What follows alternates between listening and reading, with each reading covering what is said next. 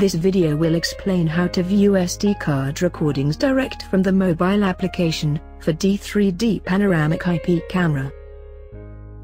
This video will be applicable for following's D3D IP camera models.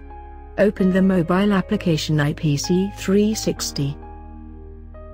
Click on the camera icon showing online. At the bottom of the screen, you can see the timeline scale.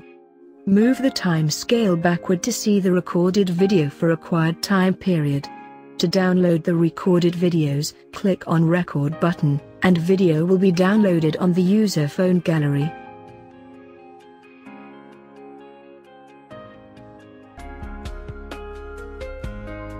To view the downloaded video, go to phone gallery and play the video.